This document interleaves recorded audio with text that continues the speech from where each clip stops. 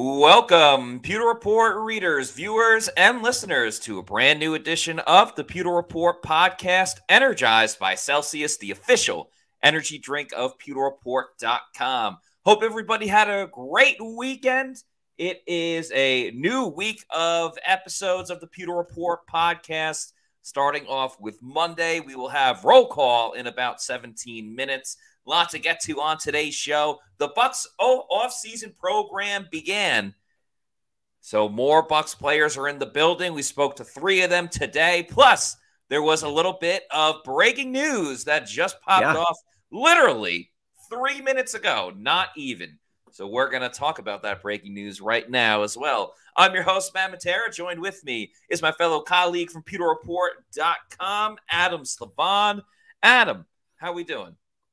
We're doing great, Matt. And there's been a lot of good vibes in the air in Tampa Bay recently. Whether it was uh, the birthdays of Chase Edmonds, Baker Mayfield, Cade Otton, yeah, uh, Tristan Wirfs and Baker Mayfield having kids, to now the first day of voluntary workouts, and also the latest news. Just a lot of good vibes, a lot of good energy, feeding off that, and only ten days until the NFL draft. Yes, very exciting times. Uh, good on you for pointing that out. We're going to get to Redfish's super chat in just a moment, but let's get to this breaking news. Returning back to the Tampa Bay Buccaneers is Will Gholston, the defensive tackle, the long time Buccaneer outside of Lavonte David. I don't think anyone's been on the Bucs for longer than Will Gholston. Had an interception last year, yeah. a part of that defensive tackle rotation. Bucs bring back a very familiar face and they add to the defensive line just a little bit more. So, initially off the bat, Adam, your first reaction? Well, I think it's a very good, like, quality depth signing. Uh, Gholston, at this point in his career, he's not much more than a rotational defensive lineman, but he still provides a lot of value, not just in the locker room, but he also played some of his best football down the stretch. As you mentioned, that interception he got a lot of reps and he's just a great veteran and kind of glue guy to have. Now, I don't think it's going to change the team's plans regarding getting another defensive lineman in the draft, but off the bat, you kind of like it. It's not going to be the re signing that sparks the boat parade, but yeah. it's a quality move. Yeah, it's certainly just something to have with a familiar face, a guy that's been in the area, been in the locker room for a very long time. His role has diminished throughout the years. I mean, we're talking about two seasons in a row where Will Gholston did not have a sack. So he's gone sackless the last two seasons. Um, played in 16 games last year, started one. But you got to remember in 2022, he started nine games. In 2021, he started 10. So he went from 19 starts over the last two seasons to just one last year. And I think that was more of a product of the injury to Calijah Kancey, who we'll talk about, and some of the other uh, injuries that went on. Will Gholston had 19 combined tackles last year, 10 solo and nine assisted tackles. Of course, the big play for him was the interception that happened on the Thursday night game against the Buffalo Bills. I'm trying to pull up on the fly his uh, snap percentage, yeah. So that was another thing as well. So last season, as far as defensive snaps, he only had 244 defensive snaps. That was good for 23% of those snaps. And again, in comparison to really the last two years, where I'd say the Bucs started kind of, you know, going in a little bit of a di- different direction with Will Gholston. Obviously, still using him, but not as much. 2021, he had 44% of the snaps and 507 total. Um, in 2022, 43% of the snaps and 485. So he's been playing less and less each season. I don't think, and you kind of already said it, Adam. I, I don't know how much this really changes for the Bucs' plans at defensive tackle. I don't think it precludes them from still taking one really in, in any round. And while Will's here, I don't even necessarily know if that means he's going to play. Again, if he played 23% of the snaps last season, you would have to imagine it'll probably be around that number or even less. So I'm not knocking the move. I just think it's more for a depth piece. And let's just face it, a fan favorite, a guy that yeah, like sure. I enjoy talking to. Great quote in the locker room, and um, I think it'll be somewhat enjoyable. Yeah, I agree. Kind of have to wonder though. I, I was kind of thinking heading into this season that last year was his last hurrah. But as you mentioned, with the diminished playing time, if this is really Gholston's last season with the Bucs. Yeah, you never know. I always felt because Will Gholston's always been with the Buccaneers, but he's also um, he's from Michigan. He played at Michigan State. I always felt, and obviously every every team is different, every defense is different, but I always felt that maybe he would end up going to the Lions at some point because like he's from that area.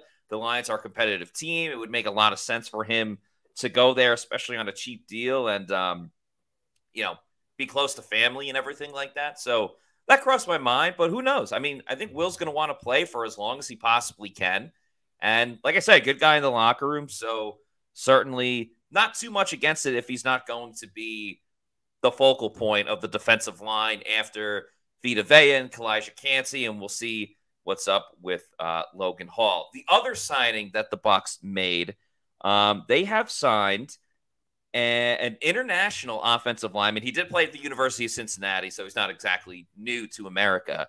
But they signed Lorenz Metz, who uh, you love played, that last name. Yes, let's go Mets. Um, Mets. This is Mets with a Z, not a S, like the even cooler. Um, not as cool. Um, he got introduced to American football at the age of 18. Lorenz Metz. He's from Bavaria, Germany, so kind of just learning about him on the fly. He's getting a second shot at the NFL. This is all on the Buccaneers website. Um, he does not count against the 90 man offseason roster. He last year signed with the Chicago Bears as an undrafted free agent in May, was released before training camp, and got a tryout with the Giants, but he was not on a team in 2023. So, you know, this is a signing. He's going to get an opportunity in OTAs, hopefully gets to training camp, but bit of an international signing. You know, the NFL is big with you know, trying to install the international program. They obviously play a lot of games overseas now. So another move by the Tampa Bay Buccaneers.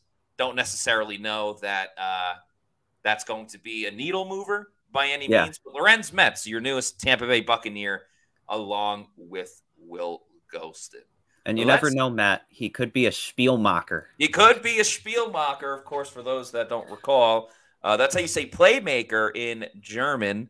And we used that word a lot when the Bucs were in Germany two seasons ago when the Bucs played against the Seattle Seahawks. Remember, that was a crazy game. The Bucs won, yeah. which was nice. Julio Jones had a touchdown. Tom Brady went out for a pass, um, and it ended up getting intercepted. Dave Canales, of course, at that time was on the Seahawks offensive coaching staff. And what else happened? Rachaad White had a uh, big time game as well. He did with that stiff arm. Talk, yeah, we're going to talk about Rachaad White soon. But yeah, that was a pretty crazy game in Germany, was it not? Yeah, and it seems like to continue having ripple effects on the Bucs too, because now they got a German player. And what's most intriguing about Metz, he's six foot nine. That might be like the tallest player in the NFL. Like just yeah. another uh, kind of developmental offensive lineman who might pan out.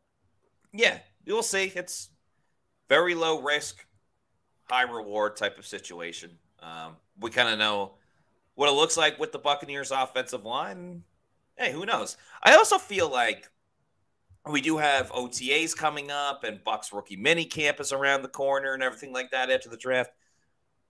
But what can you really learn from an offensive lineman in yeah. OTAs where there's no physical contact or anything like that? But anyway, just curious about that. Let's get to the super chat from Redfish, aka Mark Fisher. Thank you very, very much for this 499 super chat. Remember, you super chat us any type of compensation does not matter if it's a dollar or if it's a hundred dollars you super chat us we make sure that we get to your comment or question and of course you get to cut the line we got a lot of great people can't get to every single comment from everybody but if you super chat us rest assured we will get to your comments so redfish says last year we exceeded expectations as we look to this year, do you think our play exceeded or met our talent? Do you feel we played over our heads? He puts that in quotations. As we look to this year, do you think our play I'm slightly confused by the question just because do you want us to look back at last season and but the expectations were already made that there weren't very high expectations. Yeah. So that's what I'm a little confused about. Um, last year we exceeded expectations. As we look to this year, do you think our play exceeded or met our talent from last year? Or I guess in other words, the way to say this is can the Bucs continue to do what they did last season?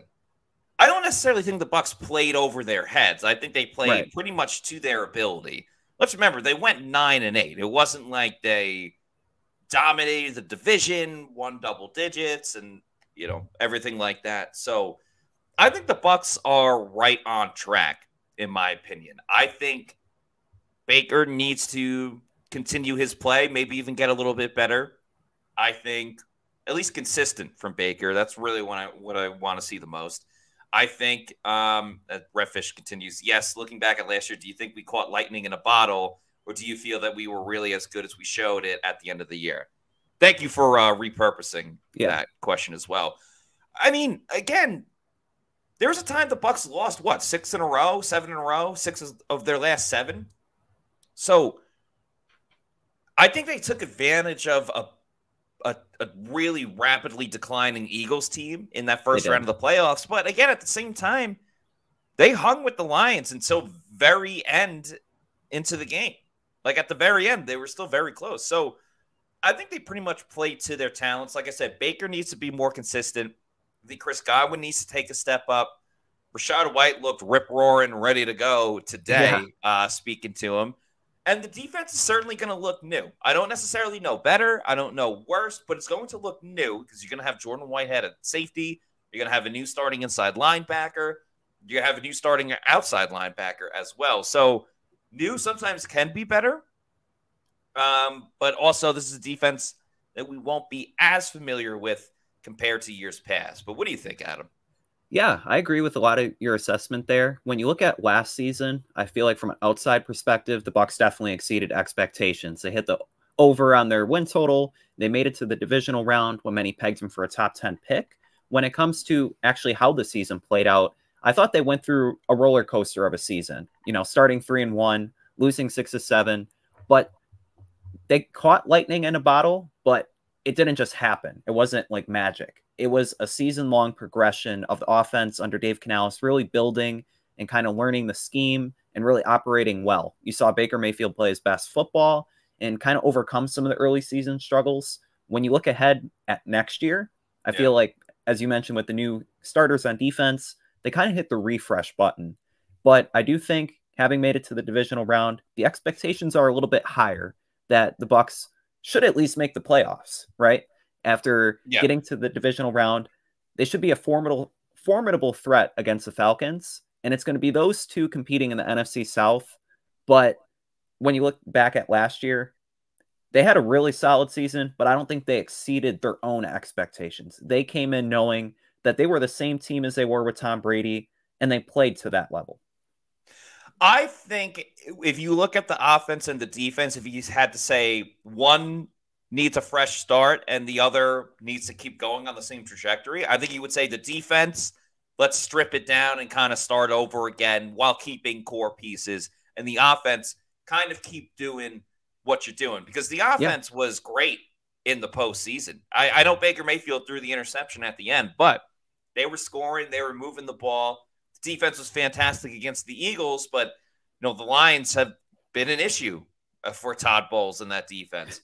Jared Goff specifically has really been an issue. So I think if anything, if, if it was the other way around, I'd be more concerned about this Bucs team. If the defense just kind of continued with the same group and the same idea and everything like that, and the offense completely had to start over again, I think I'd be way more worried about the team than currently where they are, which is Baker and Mike Evans in year two, Baker and everyone really in year two. An offense that is changing, but changing for the better without also drastically altering every single thing that needs to be done in the offense. And the defense, like, what are we going to see that's going to improve? Uh, Antoine Winfield Jr. has a better running mate with him at safety with Jordan Whitehead. And that's no disrespect. Well, I'm not trying to disrespect anyone, but clearly there was issues at safety after Antoine Winfield Jr. last season, which, by the way, he was an All-Pro safety. You're probably going to have a better pass rush on the outside because you're going to get a full season of Yaya Diaby starting and a newcomer on the other side of outside linebacker, whether it's Randy Gregory, whether it's a first round pick, something like that. So the pass rush should be a little bit better. Plus, you get um, Zyon McCollum starting full time versus Zyon moving from side to side. So I think there is a, um, I think there's a lot of, a lot of things to like about this new defense. Uh, Nathan says, "Say it, say it." Ryan Neal sucked eggs. Yeah, he did not play well last season. He sucked. Uh, no offense to him though. I did like Ryan Neal the person, but he sucked. He yeah. sucked for the Bucs last year. Uh, Beats McGee, thanks for the five dollar super chat. What's your thoughts on corners Khyree Jackson and Cam Hart? Both stand at six three and six four. Jackson Jackson stock could be rising. I was a huge fan of Khyree Jackson, especially at the Senior Bowl. I think he's got great length and size. I loved how he faced every wide receiver right up in their grill. A lot of the time, stayed for them, stayed with them, stride for stride. I'm a big, big fan of Khyree Jackson. Uh, and then also seeing him at the combine. He's a guy that doesn't take crap from no one. When he got asked the typical question of like, who do you model your game after? He said, I don't really watch anyone right now, but I love Deion Sanders and I love Darrelle mm. Revis. I loved that answer. Just looking at the all-time greats, kind of forgetting about players in the moment. So um, Khyree Jackson, I'm a big fan of. I would love for the Bucs to draft him. It just again comes down to who's available at the right time and what positions yeah. of uh, of need that the Bucs have. And I actually was a big fan of Cam Hart's game at, at the Senior Bowl. I thought he was really physical at the line of scrimmage, not really giving the receivers much separation. And I thought he tested pretty well. Uh, when you look at the next level, though, I do like Khyree Jackson just based on the fact of the level of competition that he had to face. Faced yes. Washington a couple times last year and held his own against like Rome Odunze, Ja'Lynn Polk. I think both of them are going to be good corners and maybe day two targets. Yeah, I, I definitely think I was thinking Khyree Jackson for round two, of course. So definitely um, something to keep in mind. One thing that we keep in mind every single Monday show at 420, and we're on time for this one. Yeah. So if you got it, uh, we do roll call every single Monday or the first show of the week. For those that may be new to the show, we do this every week on the show where one of us starts talking about the Buccaneers going one way or another. Um, and in the meantime, while I'm talking about the Bucs, Adam's going to put on the uh, screen where you guys are watching from. So start giving us your location. We'll start giving you guys a shout out.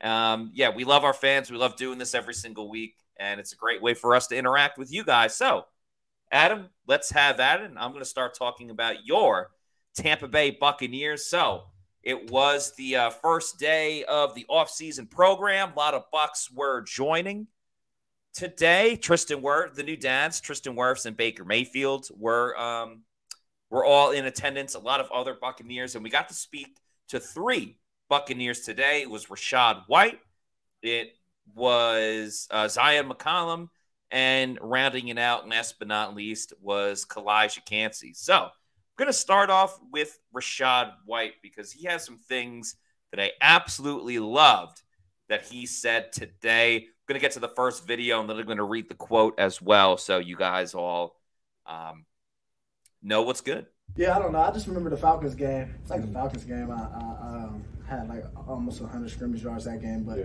I started getting in space. Uh, I just kind of started realizing um, and um, you know, obviously, I took it as a uh, as a disrespectful that, like, you know, obviously, a game plan guys was a key for me. Obviously, you be a player, you want to be a guy in this league, you want to be a guy that's scouted for, respected. Yeah. Uh, so I just kind of seen that, and people just leave me, uh, like, you know, and so I was like, I got to make the most and make make people fear me, make people respect me, and say, you know, when they come into a game, it's not just 13, 14, it's one we need to worry about too. So I said that was a big game, the Falcons game, and after that, like, it was kind of just rolling. It's yeah. nonstop from there. Yeah, so the context of that question, I believe it was from Rick Stroud of the Tampa Bay Times. Um, he was really just asked about when he felt there was a turning point in the season for himself. Um, when he really felt he started like gelling in that offense, and obviously Rachaad White was a big part of the Bucs offense. So yeah. that's where he was talking about the Falcons game. He said, uh, "I just remember the Falcons game. I had uh, almost 100 scrimmage yards." He's talking about the first Falcons game as well, where Tampa Bay actually lost in uh, in Tampa to uh, the Falcons in that one. I had like almost 100 scrimmage yards that game, but I started getting the space. I just kind of started realizing. Obviously, I took it as disrespect for that, for them like not really paying attention to him. Um, obviously, a game plan. Guys weren't keying for me. Uh, you want to be a player. You want to be a guy in this league. You want to be a guy that's scouted for, respected. So I just kind of seen that people just leave me out. Like uh, I got to make the most and make people fear me. This is the line I like the most. I got to make the most of it and make people fear me, make people respect me. When they come into a game, it's not just 13, Mike Evans, 14, Chris Godwin. There's more we need to worry about. So I'll say that that was a big game, the Falcons game. And after that, it was just kind of rolling nonstop from there. And he really did start hitting his stride. He came very close. The two Falcons games really were great for him because he had over 100 yards total in um, that second game against the Falcons. And then the next week was the Green Bay game, where obviously he had the big touchdown as a receiver. And I think Rachaad White should start getting a little bit more respect. I get that he did not have a thousand rushing yards last season, but he did a lot as a receiver, and I think made the most of his situation with really just a bad run game for the Tampa Bay Buccaneers. And remember, this was also his first full year as a starting running back for the Tampa Bay Buccaneers. He was in a you know, shareholder situation the year before with Leonard Fournette. This is first time to really kind of let him fly on his own um, as a starter. And also another interesting thing going into this season is this is Rachaad White's third year with the Bucs. Going back to his time with Arizona State, he's only there for two seasons. So he said since high school, this is the first time that he uh, has been in a place for like three years or longer. So I think that comfortability is really starting to kind of uh, seek through as well for Rachaad White. And he was like what fourth or fifth in the league in combined yards amongst running backs last year. Like he was yeah. able to do some work for the Tampa Bay Buccaneers. Um, I'm even more excited for what he can do after uh, talking with Liam Coen.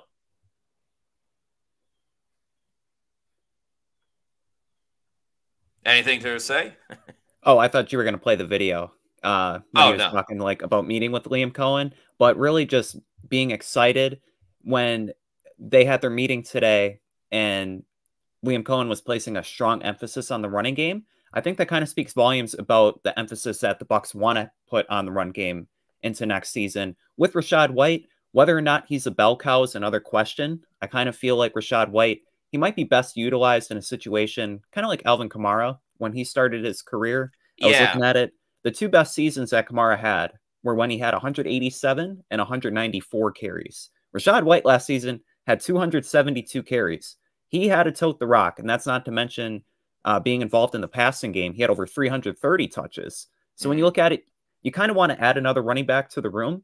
But for having a last ranked rushing offense last season, Rachaad made a lot of big plays. You mentioned the Green Bay game. Uh, there was a play that comes to mind. I forget which game it was when he had like a 42 yard screen touchdown. When Baker Mayfield, San Francisco. Yeah, I think you're right. When he was just kind of looking for somebody, dumped it off to Rachaad, and he scored. I feel like Rachaad has a lot of value, but you may want to tone down his usage usage just a little bit. Yeah. All right, let's get to a couple of videos. We'll start with uh, his conversation with Liam Coen. Uh, I know some other people on the show love to say Liam Neeson, but it is Liam Coen. Uh, we'll talk about that new running game. Uh, yeah. So just our first meeting with Coach Lim this morning. Uh, just great energy. Uh, great guy, great human being. Uh, just very smart. So um, you know, just talking about the different things that we want that we're to do, want to do, uh, get guys in certain positions, certain space. Um, he already know like a lot of coverages that we see. So I mean, obviously the biggest emphasis that we all put on it, and what he started the meeting off with is run game. Uh, run game been bad bad here uh, for I don't know how many years now, but been a few years plus. So uh, that's our biggest emphasis, and with that, just efficiency. So we want to be well efficient, and then everything else going, you know, Mike, Chris, all our receivers gonna keep doing what they doing, and uh, running backs gonna be an extension to that. But he put a great emphasis on run game here.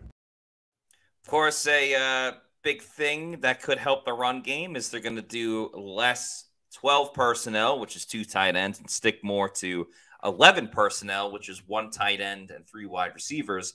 That makes for lighter boxes, you know, up at the line of scrimmage with the linebackers not packing as close to the line of scrimmage, which really could help the run game. And these were Rachaad's comments about it.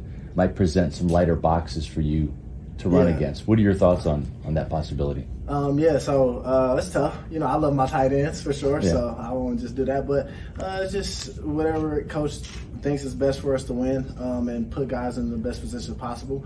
Um, so yeah, um, a lot what the Rams could do is 11 personnel, things like that. I mean, you got Puka, he like six two, whatever, 2 mm-hmm. something. So he big guy, but uh, just certain things we got here, though receivers that block. I mean, but he also showed us like two sets of like tight ends and things like that. Just different stuff we can run. Uh, that's way different than uh, what we was running last year. And uh, I'm not trying to take a knock on anybody, but uh, it was very exciting for all of us. And just the emphasis, like the whole meeting was based on just run game. And then obviously he showed different variations because we got different coaches from all over the place, Miami, things like that. So he showed stuff to get our receivers. I mean, you know, just in different looks, coverages that guys run against us, like Mike and what he's been seeing for years over his career and how he can put him in a better position, Chris, guys like that. So uh, it was awesome, honestly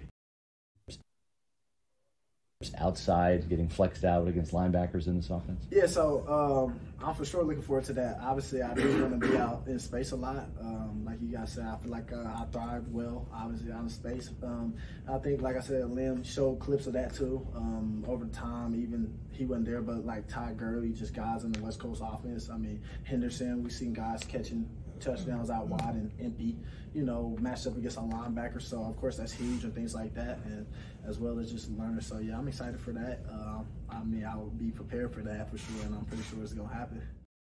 So we'll see whether or not Rachaad White is the bell cow. If something else is going to happen in the Bucs running back room, obviously they re-signed Chase Edmonds. Sean Tucker is there. How much he'll play remains to be seen. But Adam, just curious if the Bucs do go with another running back in this year's draft, what style of running back is, is kind of best for this situation? That's a great question. And it was something that Rachaad was kind of asked today about like the thunder and lightning dynamic, where Rachaad's more the lightning guy, the elusive running back. Could they get a thunder guy, like somebody like a power yeah. back or a goal line back? I actually think that would be a great compliment to Rachaad's game. I don't see him as somebody on like third and two, fourth and one. You want to give him the ball. I think somebody more stocky, a better built would kind of be an option. I know AJ Dillon was a free agent. He might have fit that role. Uh, yeah. Uh, Braelon Allen in the draft, he could be a potential option. Or somebody kind of along the lines of Rachaad White, but maybe more uh, of a focus in one area, like Marshawn Lloyd uh, from USC. Yeah. Somebody that he could fit and kind of fill that receiving role that Rachaad does but somebody maybe to have the same talent level in certain areas, but just giving Rachaad a break in like some regard. Yeah, I think more physical is the way to go. Not that Rachaad isn't. I want someone that you're not going to have to think about twice. Yeah. In these short yardage situations where the Bucs have had their issues. So Rachaad was asked that today if they were going to get someone to compliment him. What's the best way to compliment him. I'm not the perfect back. I mean, I try to model myself to be perfect. I try to model myself to like not have coach take me out the field. Like I said, obviously, the biggest thing in my career is just being efficient. Um, everybody got their opinion of me. Can I run through tackles? Can I not? Um, you know, it is what it is. But uh, I just think um, if they draft a back, just draft a guy that like gonna fit the mold of our running back room. I mean, we're working there, but we all great human beings. We, uh, you know, we we pride ourselves off of being that first great man. Um, and um, the biggest thing, just come in, he ready to compete, and um, at the end of the day, he's just challenging each one of us to, to get better. So I, I, would say the biggest thing too, and just understanding too, like to work on this game. Like I'm working on my game. I'm still working on it. Like I'm not perfect, like I said, but uh, I, I, I, really can't like tell you what they should drive. I think they should just drive the best guy they feel like it, that you know fits the mold of our team and where we're trying to go. Of course, there was no question that Rachaad White was more excited to answer than about his good old buddy Chase Edmonds that's back yeah. with the Tampa Bay Buccaneers. This is what he said about his overall friendship with Chase Edmonds? Uh, huge, huge, huge. Uh, huge for my career. Great, great guy. Look at my smile. Like, I smile about him like you know, like we dating or something, but we not. you guys went on vacation like, together, yeah, yeah, That's, that's my guy. That's my guy. That's my guy. That's my guy for sure. And uh, man, huge. He's been huge. Uh, great vet, great leader. Uh, not just on the field, man, just off the field and what he do and what he has done and brought uh, to my life and uh, a lot of opportunities and just picking his brain. Like I, I mean, I'm probably like for sure the no, annoying little brother. We run in sprints and I'm out there like talking and I see him trying to catch his breath, but I'm just annoying him, talking a lot. But uh, it's just good. That's a great relationship and uh, that's one for life. That's one for life for sure. What's what's I also, as we kind of put a bow on Rachaad White's press conference, Adam, I thought it was interesting when he was talking about um, watching tape. And obviously, he's watching tape of himself, but in yeah. conversations with Liam Coen, talking about like using Rachaad White similarly to how Todd Gurley was uh, in his prime. Obviously, with the Rams, spent a little time with the Falcons, but really his his uh, his main work was with the Rams. Do you see a comparison at all between Rachaad White and Todd Gurley, or is it just kind of more of like, hey, he did this, you can do that, and we're going to use it in somewhat of a somewhat similar like playing field? Well, it may not be the most apples to apples comparison, like taking Gurley and White. I do see like some parallel in their games, uh, just based on the fact that they can both be explosive. I think you saw that with Gurley when he was in his prime he was the best running back in the NFL for a couple of seasons. Yeah. And just the way that the Rams utilized him uh, as both a runner and a receiver, I think you can kind of use that blueprint, take it to Rachaad White, and have good results. Have a more efficient season this year from Rachaad than last year.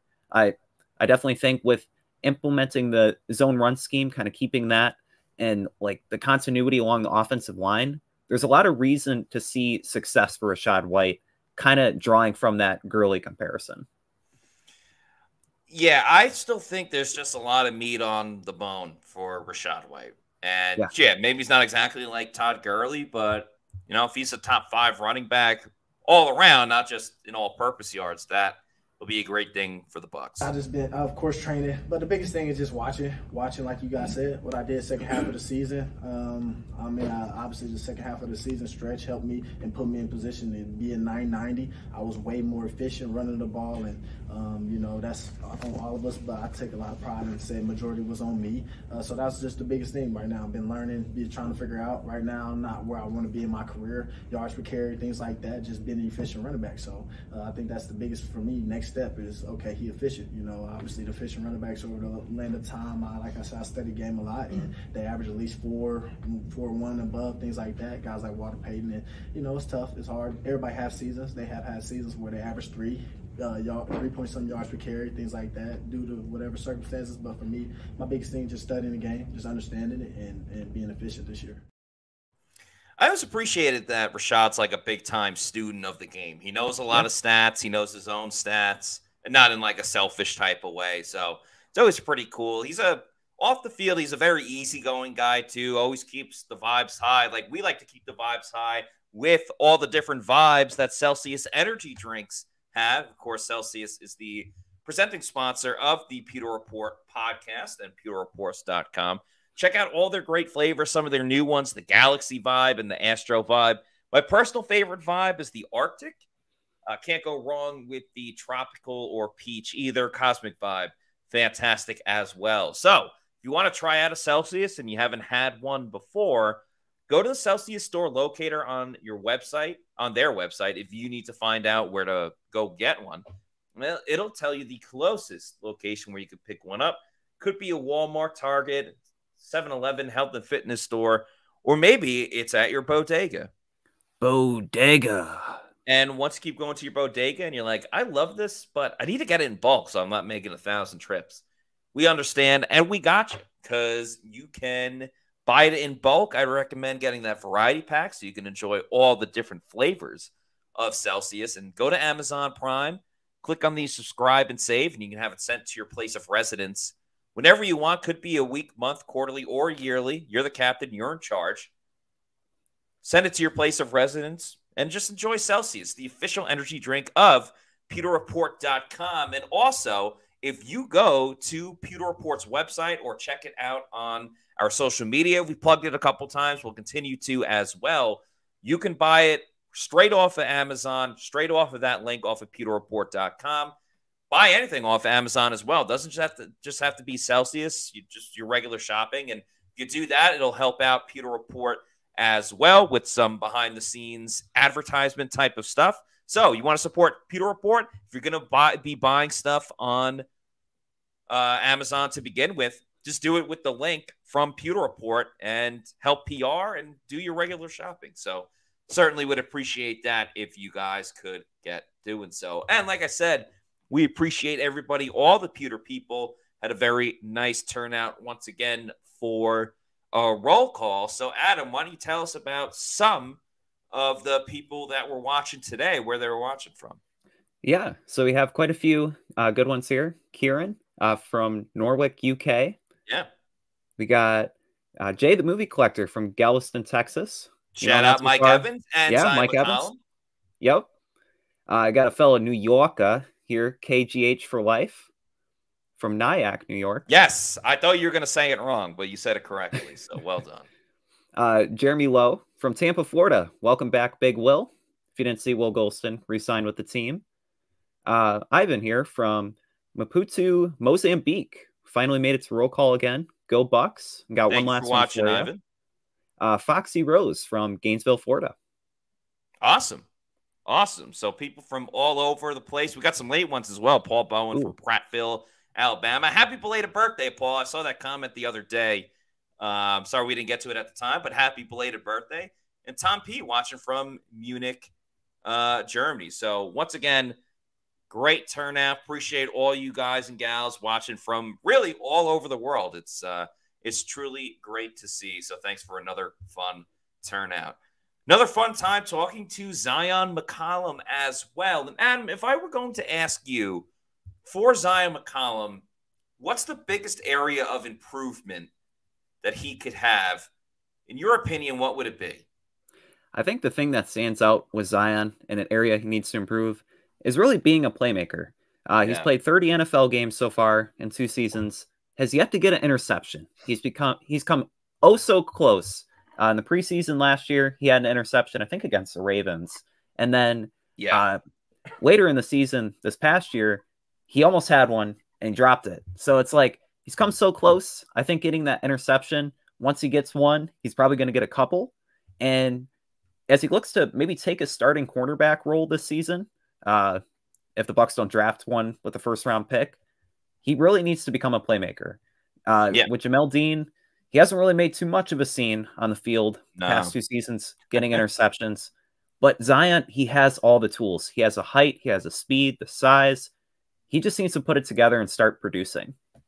Yeah, I, I, agree with you. I think taking the ball away, in my opinion, would be the biggest improvement that he needs to do with that. So we're going to play a couple of videos in a row. The first one is how can Zyon get better at taking the ball away? Of course, there's the jugs machine, but we've heard Carlton Davis and Jamel Dean say that as well.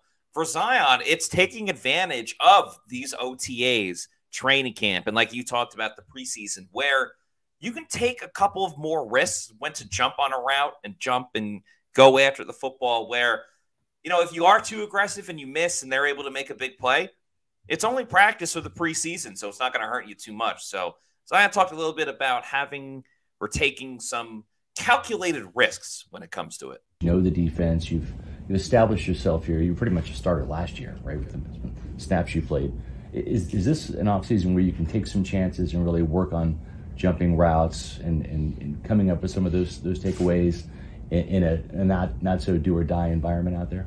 Oh, that's a great way to put it. I mean, taking calculated chances is how you make plays in this league.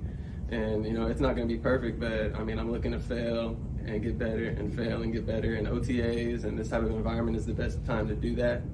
And so, yeah, taking chances is the name of the game, my game at least. So you've always been a confident kid. Then he talked about growing as a corner as well.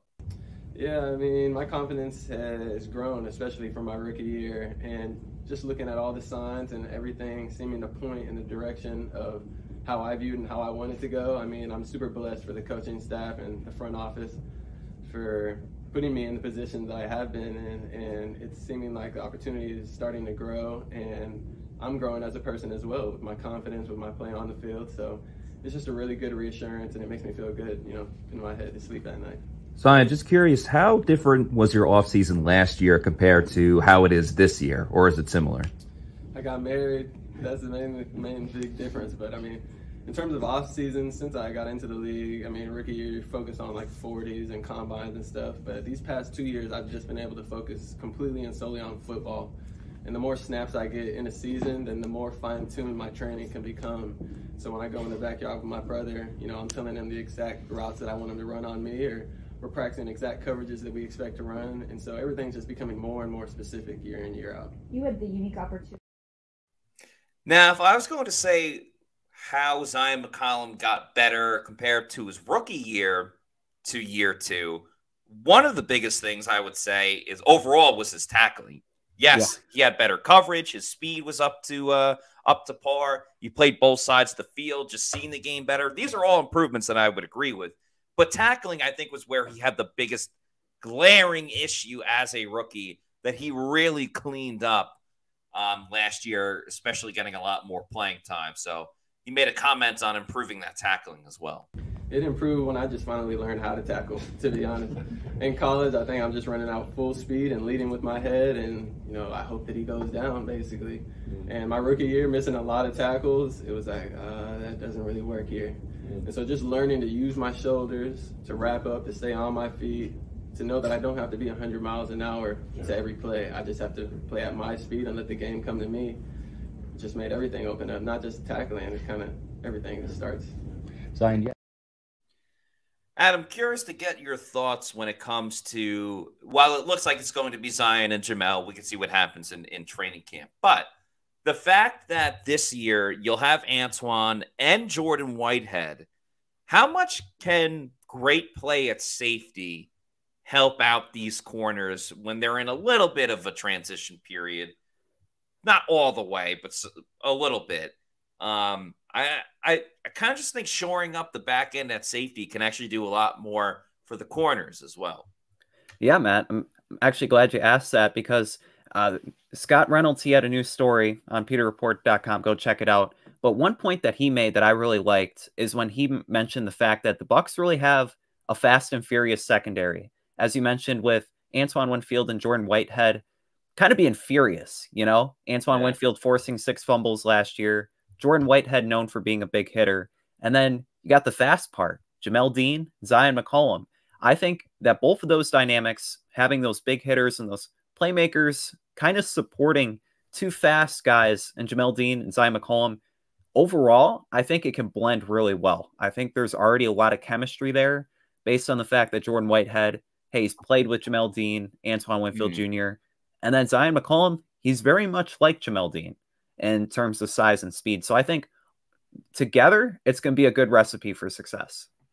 Not gonna lie, now I feel like watching the Fast and the Furious. Right, too fast and furious. Too fast, too furious. Uh, yeah, let's get to some more of his comments. If all you guys can stay on the field, sky's the limit. I mean, that's the main thing. Everybody just staying healthy, staying focused one day at a time. But I mean, the sky's the limit. The athleticism is there, and I think they did a really good job of putting like minds yeah. on uh, on this defense and on the field, so we can talk to each other, and there's no drop off in communication exactly. And I'm excited. I mean, as a corner, you'd want to play with all pro safeties, yeah, sure. safety. So knowing that you know Antoine's back there, and now Jordan's back there, he's been in this system before. I mean, I'm super excited. It's just I feel like we can just let loose. In terms of where you want to get better becoming a playmaker. I mean, for me in college, I was always known for getting my hands on footballs and making plays, whether it be forced fumbles or interceptions. And so that's the next point in my game is to start making those big plays. Like, how can that help you? Oh, 100%. I mean, since playing, playing safety and playing nickel, I know exactly where I want my safety and my nickel to be because I can put myself in their shoes. And so with that, I mean, when we go out and we're practicing drills, you know, we can communicate at just such a high level because I can speak their language and they can speak my language and vice versa. And just being able to know exactly where somebody's going to be when both calls a call just allows me to just say, I don't have to cover that. I just have to worry about this. And giving them the reassurance that they don't have to cover the routes that I'm responsible for. Just worry about doing your job. So I think it all goes hand in hand. We have another story coming out on pewterreport.com. I believe it's coming out tomorrow or the next day, but another one about Zyon in a separate way that Zyon has gotten better, Adam. I think it's playing against a certain wide receiver. Uh, it's your story that's going to be published. So you want to preview that a little bit?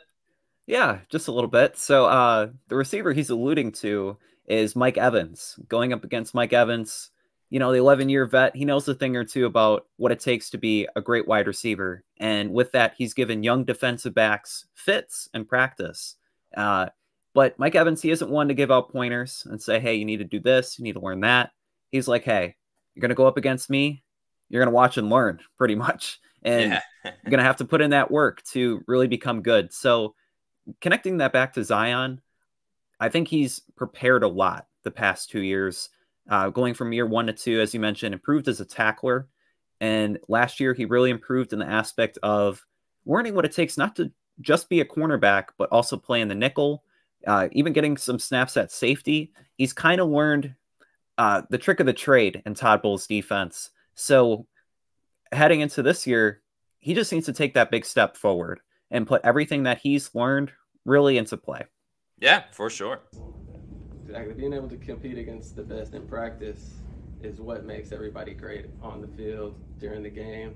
And having a guy like Mike Evans, I mean, I'm taking advantage of every rep I guess I get, against him, whether it's one on one, seven on 17. I mean, I have to get those reps. And so I look forward to the matchup with not only him, but Chris and a lot of the other guys that we have. But Mike being his going to 13th year or 14 years, I mean, it's unbelievable. And so I cherish every moment I have being able to go against a guy like that. Yeah, physical at the point of attack. There's, you can't wait for anybody or anything in this league. You have to go and get everything that's out there. Nobody's gonna let anything go into your laps. And so Mike, seeing a young guy, I mean, he's not waiting to give him tips or to tell him how to do something. He's just gonna beat him, and then you'll learn from the work.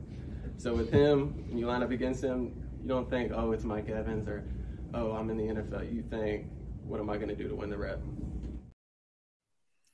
And uh, last video we'll have from Zyon is what the message from his coaches have been for not just him, but for the defense this year. To the defense today, or in your room, Kevin Ross to the cornerbacks.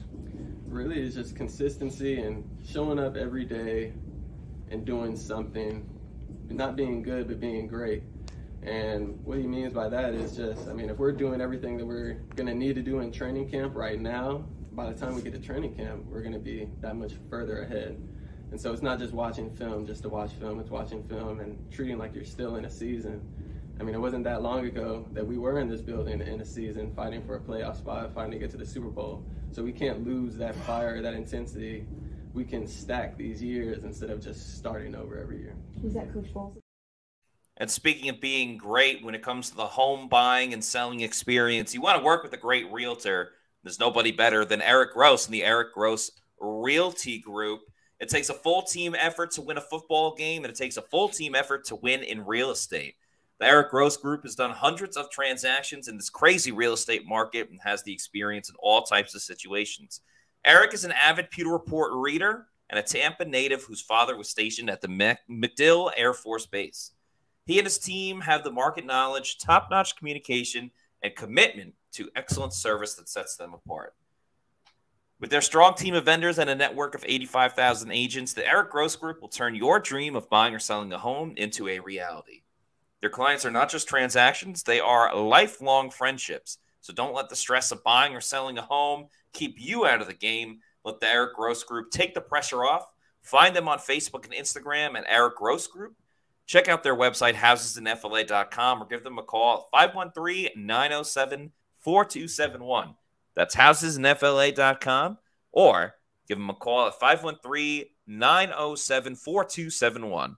No matter where you are in your home ownership journey, you'll feel welcome with Eric Gross the Eric Gross Group, the official realtor of pewterreport.com. We got one more player to talk about, and that is Calijah Kancey, the Bucs' first round pick from a season ago.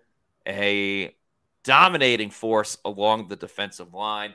Adam, what was your biggest takeaways from hearing from Calijah Kancey today? Well, my first takeaway was that first picture he had up. That was his favorite quarterback, ladies It and gentlemen, Jared yeah. Goff, a guy he faced uh, two times last season. Uh, but otherwise, when talking about Calijah Kancey, I don't think there's a player that's going to benefit most on this Bucs roster. I'm curious to hear your thoughts on this. Getting another full offseason than Calijah Kancey. Because when you look at last year, he missed training camp, he missed the first four games of the regular season. It's almost like a what could have been because when Yeah. he was on the field, he was so good for a rookie defensive lineman. That's probably one of the hardest positions to learn as a rookie, coming in, having to play alongside Vita Vea. So getting that full offseason to really work with Vita, work with Will Gholston now and Logan Yeah. Hall, I think he's going to benefit a lot. And then as well as that, also building up his strength and getting even stronger and learning the system. The sky is the limit, not just for the secondary, but also for Calijah Kancey. Yeah, he admitted like he was very uncertain if he could kind of like keep it together with everybody because he started so much later than everyone else because of that calf injury. We've seen how that affected Zyon McCollum a couple seasons ago, Scotty Miller back in the day as well. But he did say that he thought that he was able to catch up by the end of the season. a lot about myself. Um, was a little like was a little uncertain um, starting off as far as being set back with the calf injury and um, starting the season off a little late. Uh, I, I was my main thing was getting back to myself how I was in college. Like I wanted the NFL to be as easy as college, and it came with patience. And I, I had to learn uh, a different scheme, uh, going against veteran guys who've been in the league for a, a lot of years. Um, I just had to, I had to get the repetition, and when I got the repetition, it just all starting to pick up, um, and that's where I want to be at. Uh, I want to just work off of I, where I finished off at, and be better. At, at the end of the season, or did you feel like you finally have a chance now to be a second Yes, I player? definitely feel like I, I caught up at the end. Um, I was playing a little bit of catch up, but I mean, it all worked out for me. Um, it helped me learn my body, and it helped me uh, just not take take this for granted because it'll be taken away from you very fast, and just made me love the game even more. Now the whole Jared Goff thing, obviously the Bucs lost to them twice, but Calijah Kancey essentially started and ended his season playing against the Lions because he Yeah. got he played a little bit in that first game against the Vikings, but then returned for the game against Detroit, and he had a sack in that game, and I believe he had a sack as well in that playoff game. So while the the Lions have given the Bucs some issues, Calijah Kancey likes playing against Jared Goff. Sack and Goff in each game. You think about that last game and how the season ended, and what type of taste that might leave in your mouth? Think Goff my favorite quarterback. but nah, um, yeah, with that, with that um being the first and my last game, uh, it was really, it's really like a, a get a get back revenge um tour type of thing. Uh, really just seeing him um, go against him for the first time, and us like as a team not pulling away with that win, and even the second time of not winning again, uh, just uh, that's that's something we want to do. We want to finish the game, and it was a, it was um I will say he's a great quarterback as well. Um, just want to get him. He's smart. He could feel when pressure is close out. It was times he got the ball out when I was mad. I should have got him, but it was a great experience. And you can see him again this year too. Yes, Looking forward to that. looking forward to it. I think what's I just noticed from the press conference today with Calijah Kancey is he definitely looks a little more comfortable. He definitely Yeah. seems a bit more open because the next video I'm about to play, I don't know if he would have said this at the end of the year, but now that he's been in Tampa for another season, he's technically no longer a rookie anymore. Um, like even just had that little quip about Jared Goff being his favorite quarterback and stuff like that. You didn't necessarily see that from Calijah Kancey. I just think it's a matter of one playing so well like he did last year, and um, getting a full season in Tampa underneath him and ready to go for year two. Honestly, it's really um, looking forward to what we got ahead of us this year. Um, just knowing last year we should have been way better and could have been way better. Um, and it was times where we shot ourselves in the foot, um, just messing up mentally. Um, so that's where we want to be. We want to be stronger mentally, and that w- that way it carry us throughout the season. We started now. Coach Rogers, what? It was pretty much the same thing. We went over a couple a couple um, plays we gave up as a defense, um, explosives, and we just kind of like like called out all the little things where we messed up at and hurt ourselves, rather than the other team just flat out just beating us. So it's really just working on ourselves. There's, no, there's another rookie you had a, a, strong connection with last year, not just SirVocea, but but uh, Yaya Diaby. Talk yeah. about the bond that you two have had, being similar like minds in terms of your approach to football and your seriousness and and when did you guys start first started clicking? Uh, we definitely uh, started clicking uh, rookie minicamp, honestly. Um, and as we started to get more reps together on the field, it just the bond just grew like stronger and stronger, and that that way it just carried us throughout the season. That was one of the answers of Calijah Kancey talking about some of his teammates. He had two other teammates that he mentioned as well. First, Vita Vea. I learned a lot from Vita. Uh, just being in a room with him, being on the field with him. Uh, my first day, I actually took a rep with him. He told me everything to do before I even before we even got out the huddle. I'm like, damn, is that easy? And like, just that just lets you know like what type of guy he is. He's on top of everything. Like he knows the formation. He knows what to expect. He knows the type of the person we're going against because he's been in the league and he's went against like everybody. So it's really a plus for me. Um, and then going into this year, uh, it just really following his steps and, and, and being a sponge towards him because he does everything the right way. Was it that easy? Uh, at, at, times it was, but you still got to go out there and do it. He could he could tell me everything to do. I still got to do it. So it wasn't that easy.